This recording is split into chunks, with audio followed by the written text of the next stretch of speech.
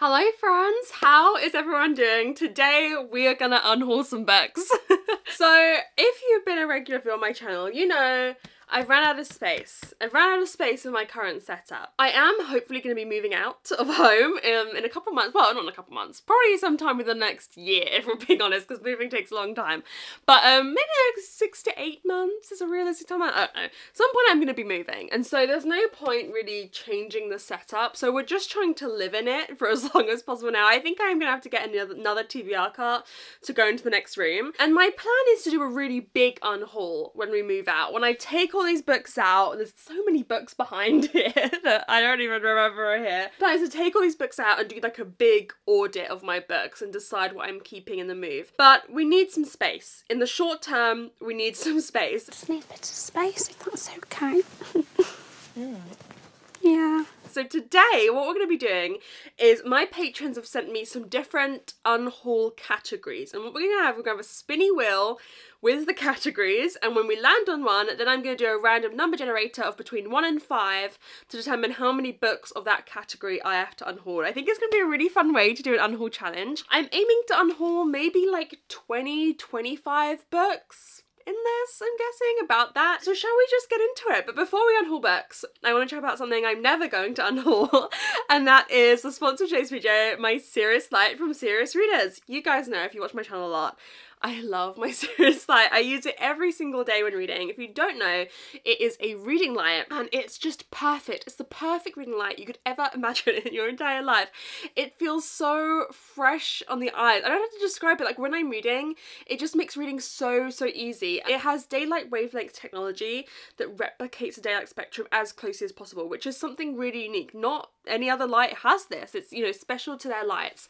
And rather than being blue light that kind of sets off signals in the brain that we don't need, or whether being not an efficient light, it's a really, really great light for reading biologically or in the brain. I don't know.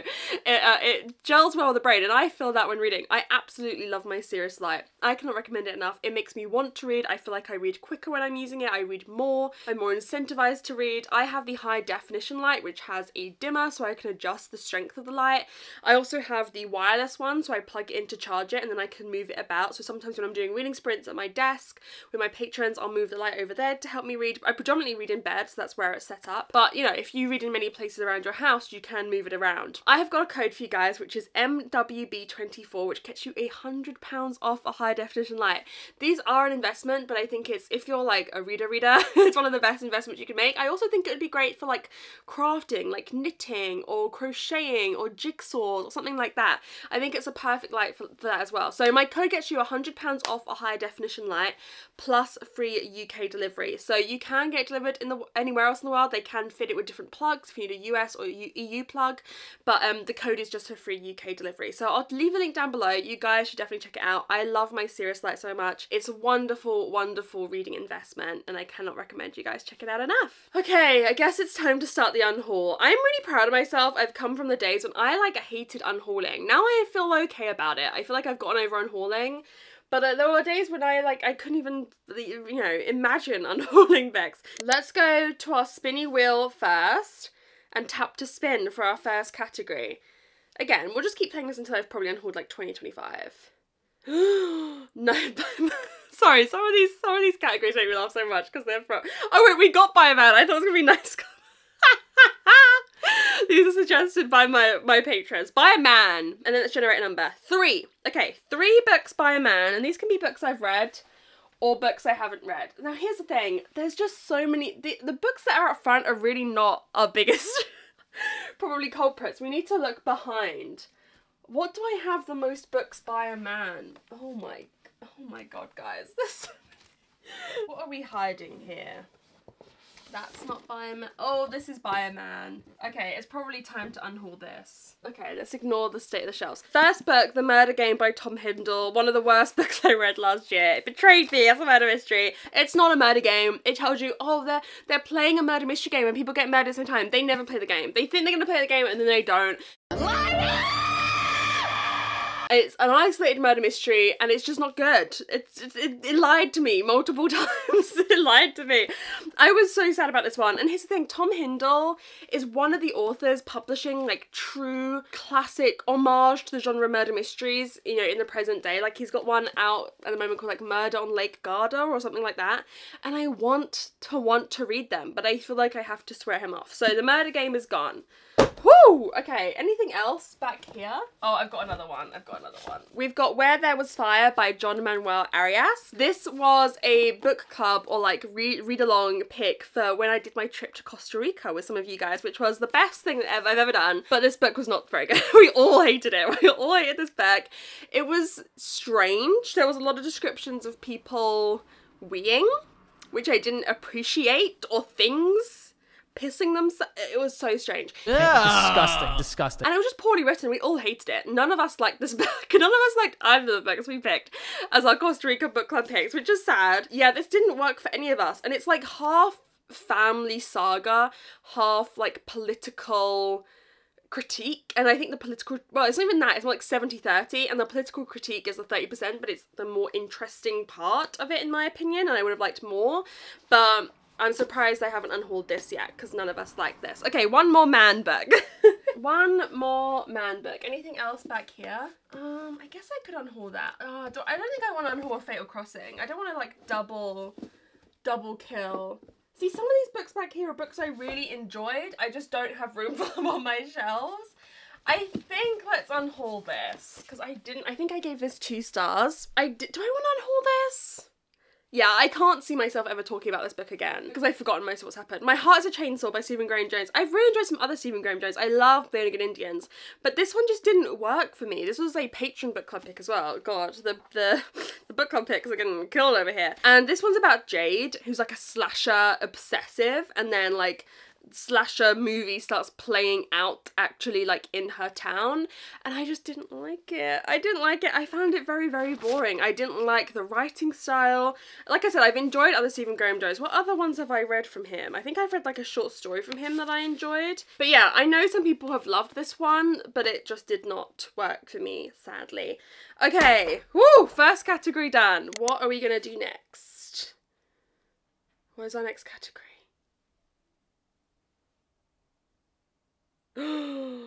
this one's hard. Was a five star prediction. Okay, let's see how many we have to unhaul. I'm hoping it'll be low. Two. Okay, two books that were a five star prediction. Um. Holy shit. What was a five star prediction that I want to unhaul? Let's have a look behind here in fantasy. Oh, I didn't know I had that back there. Oh gosh. huh. Interesting. Okay, I'm gonna go for this one first. This is a book I know a lot of people love like really really love and it is the very secret society of irregular witches i read this uh, not long after I'd read uh, Legends and Lattes, and I really thought cozy fantasy was about to be my thing. I thought, oh, cozy fantasy, I'm gonna be in love with cozy fantasy. Isn't life gonna be great? And uh, yeah, I didn't like this. I didn't like this as much as everyone else's. I know other people have enjoyed this. It's witches, and you know, witches are one of my. I'm pretty sure witches is one of my thing in five star order that I love. I love witches. I love cozy fantasy, but this one just did not work for me. I found the romance uninteresting. I found the writing annoying for some reason. I can't remember. I've forgotten a lot to do with this book. I'm okay with letting this one go and passing on. I, I usually let my patrons have first dibs on the books I'm unholding before I take them to the charity shop. And I'm okay with this going to like a better home that will love it more. This one I was really sad by. I was really sad by because I thought cozy fantasy was about to be my thing, but like I think I need to stay away from cozy fantasy with a really strong romantic plot. Like Legends Lattes has a kind of sub sub, I feel like a sub sub romance plot, and that's okay for me. But cozy fantasy that are really just like cozy romantasy don't work for me. And um, I, I I should have loved this. Found family is another one. These I this has so many of my buzzwords, but alas. we were not successful. Okay, four books on hold already. What can I in good faith say was a five star prediction that I just did not enjoy? Because I don't want to lie.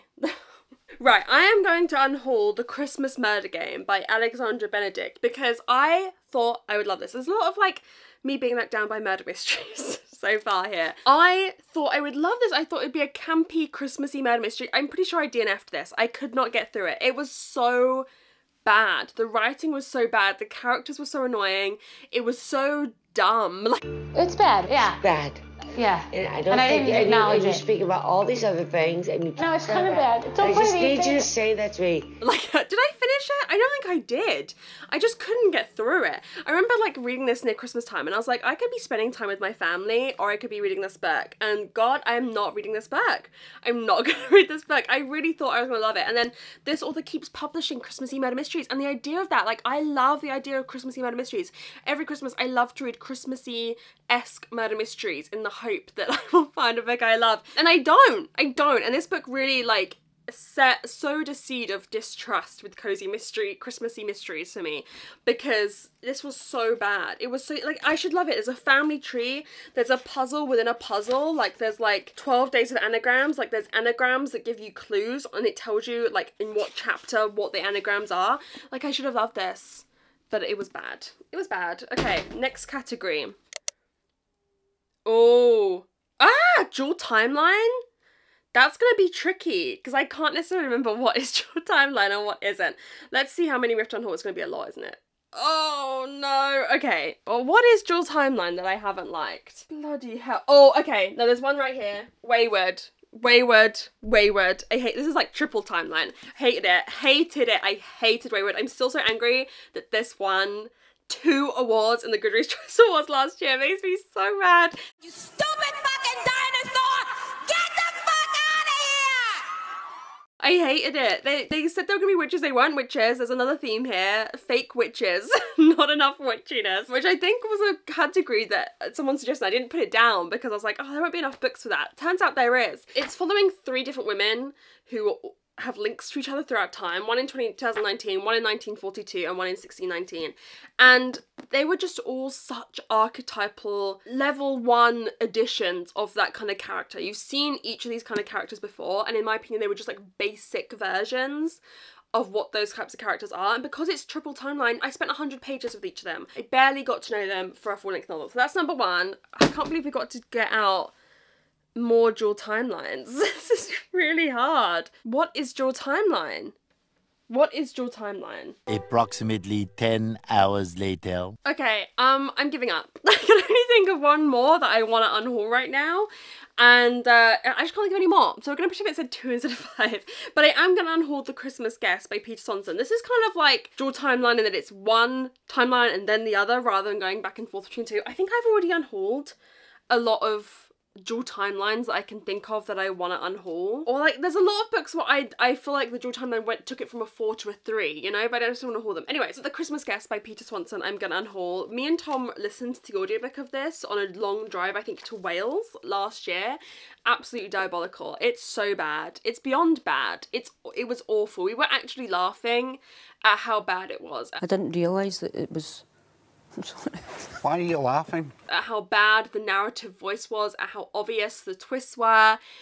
I, I can't even. It was actually quite fun. It was quite a fun experience to have together to listen to this awful book, and it was an easy one because it like you know you're gonna finish it on the car ride. You know some books you'll start and you're not gonna finish them on the car ride, and then you forget about reading them. Whereas this one like you knew you were gonna finish, so it was a nice one for the for the circumstances. But I hated this. I hated the twist. I hate the writing style. I hate I hated everything about it. So okay, now we're giving up on dual timeline because I can't think of any more that I want to unhaul right now. Hopefully an easier category now. Um, oh no, I'm spinning again because we got was a five star prediction again. Oh, annoying main character or love interest. Okay, and how many are we unhauling of this? Just one. Okay, annoying main character. Oh, I've got it. I've got it. I'm unhoarding the housemaid secret. Even though I'm gonna have to buy the next one for the Goodreads video this year, I have no interest in holding on to these specs. Yeah, the housemaid secret. I found her so annoying. She, oh my god, and the and some of the love interest in this is so annoying. I mean, the whole book is annoying. I'm unhoarding the housemaid secret. Bye bye. See you later. And you're going home, sweetie.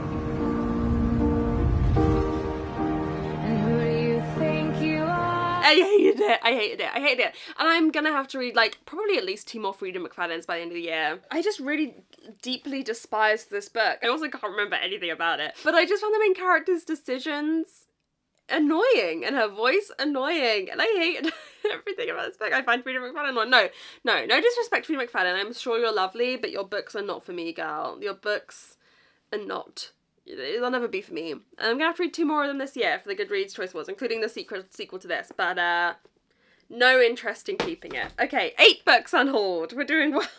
Next category. I just remembered one of them is like Goodreads Choice Awards, and we've already unhauled like two Goodreads Choice Awards nominees.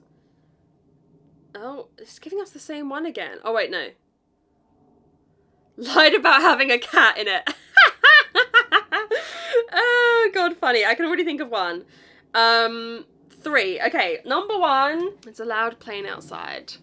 That's really loud. See ya. I'm gonna unhaul a spoonful of murder, even though part of me wants to hold on to this because it'll be in my worst books of the year video at the end of the year, and so I probably should hold on to it, but it's going. Um, a spoonful of murder by J.M. Hall. I can just put pictures up. I don't need to hold on to these books. This one, there's a cat on the cover. Where is the cat? The cat is not in there. This is an awful murder mystery. awful, absolutely diabolical murder mystery. Following these retired teachers solving the murder of their old school friend and these women were so annoying the book had no cohesion they barely spent any time with one another oh my god i i hated it and i also did this video i got so annoyed about all the books lying that they had cats in them no they didn't what else lied about having a cat i feel like days at the Morisaki bookshop but i don't necessarily want to unhaul that what else in that video lied about having a cat in it because the cat who caught a killer did have a cat in it and the goodbye cat did and so is there any days at Morisaki Bookshop and the Spoonful of Murder that don't have a cat in them? Oh, the Kamogawa Food Detectives I could unhaul. And I'm supposed to unhaul days at the Morisaki Bookshop in order to get like the right number. But I don't know if I want to do that. I'm happy to unhaul days at the Morisaki Bookshop, but I have no idea where that is. I mean, where could that be? No, not there. Not there. Where is this? I just read it. Where have I put it? Guys, I have no idea where this book is. I have no idea where this book is. Where did I put it? I can't see anymore. Okay, no, I'll, I'll just say this didn't lie, but, you know, I'll unhaul The Cat Who Caught a Killer as well, even though it will also be in my worst books of the year video. Because this does have a cat in it. It's very catty, obviously. It doesn't quite fit the prompt, but, like, this cat is not a cat this cat is not a cat. It's a talking cat, and his cat voice, his cat monologue is so uncat-like, it pisses me off. If you're gonna write cat, it has to embody a cat, and this cat is just not a cat. It's just not a cat. You may not hold the space for me, and that's okay. But that's a hill I'm gonna fucking die on. Firstly, like, oh, everyone in this book is a bloody Tory, so, like, you know, there's that. When cats are so socialist, it's unreal. and yeah, it's a fake cat. It's not a real cat because the cat voice in this is not is not cat-like at all. At all. Not one bit. Okay, that's all we're doing. We're not doing enough of that. Was it only two that we had to do? Oh no, it was three. Well, we're unhauling two. this number isn't quite working, is it? Okay, next one. Next category. Here we go, we got it. Okay, Goodreads Choice Award. And how many are we unhauling? Two. Right, we've already unhauled a few. So I'm gonna unhaul The Golden Couple by Greer Hendricks and Sarah Pekkanen. I think this is from the year before, and it's just an incredibly forgettable domestic thriller between like a husband and wife who are in therapy and their therapist and the goal I actually can't whoa, if you asked me a single thing about how this book turned out, like what the actual twists and plot of this book are, I could not tell. I can't tell you. I remember like the therapist is a bit dodgy and the woman's doing something. I can. I can't remember anything. I don't remember. I don't remember, love. I don't remember at all. I really don't. It was an awful long time ago. I can't remember anything about this book. Okay, that's a, that's a sign to let it go, baby. That's a sign to let it go. Yeah, I just did not enjoy this. I think it was like a 2.5. And then I was only trying to read the top 10 that, that year I did this. And it wasn't even in the top 10. It was a waste of a read. I didn't need to read it. Um, yeah, we're gonna unhaul that one. And then we need another one. Whoa. We've already unhauled quite a few of what I would have unhauled for this prompt. Uh, do I want to unhaul you? Uh, I don't want to unhaul that. Oh, I know, I know, I know, I know. I know. I'm gonna unhaul Being Henry by Henry Winkler. Sorry, Henry. I read this for the when I was reading all the winners of the Goodreads Choice Awards at the start of this year. And I'm just so sorry, Henry. I don't know who you are. You are before my time. I respect you. But this was just like, it was so boring. It was so boring. I'm so sorry, Henry, but I'm I'm unhauling you. I have I had no interest in this book. I read it because I had to. It was fine, you know, but it was written for someone who was a fan of him, and I am not. And this book, I mean, I have no interest in keeping onto it because it's just the massive faces of a man who I have no idea who he really is. Maybe we're just gonna do one more prompt. I haven't unhauled maybe enough books, but I'm making some space. Okay. Forgot existed. Okay. I feel like I can do some for this because it's just the ones that are back here. Three. Okay, let's do these three and then we're going to be done. Okay, what is back here that I forgot existed? Some of these are ones I don't necessarily think are bad. I just, yeah, forgot they existed. okay, I'm gonna unhaul The Fair Fight by uh, Anna Freeman.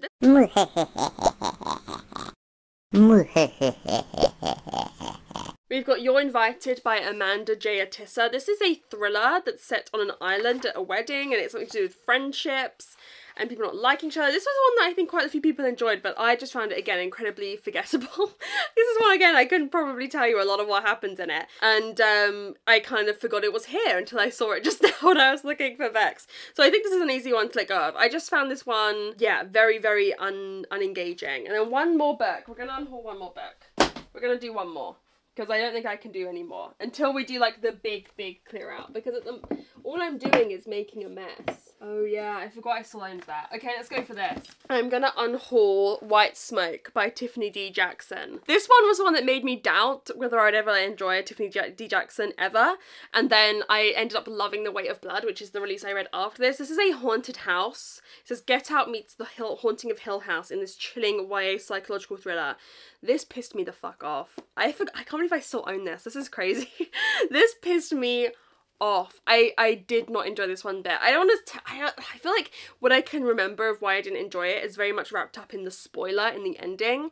But I didn't enjoy like the lead up. I didn't enjoy the build up, the kind of like hauntingness. I read some really great. I think I read Horrid by Katrina Leno, not too before long before I read this, and that's a great haunted house book. I love a good haunted house book. This just didn't give me haunted house, let's just say that. So I'm glad me and Tiffany Jackson have since found love and adoration for one another. Well, she doesn't know me. I've just found love for her with the weight of blood. But I'm ready to let this one go. Okay, friends, I think that's all we can unhaul before we do like the big moving out to unhaul, but we've made a little bit of space, I think. I mean, it's a mess. it's an absolute mess back there.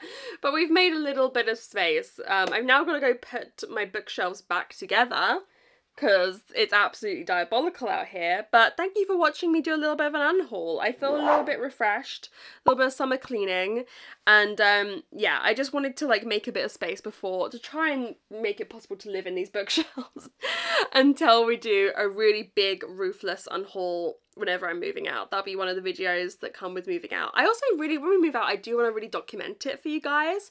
So I think I'll do quite a lot of videos like in the process of moving out. I don't know how interesting interested people be in that. But anyways, thank you guys so much for watching and I'll see you very soon in another video. Bye!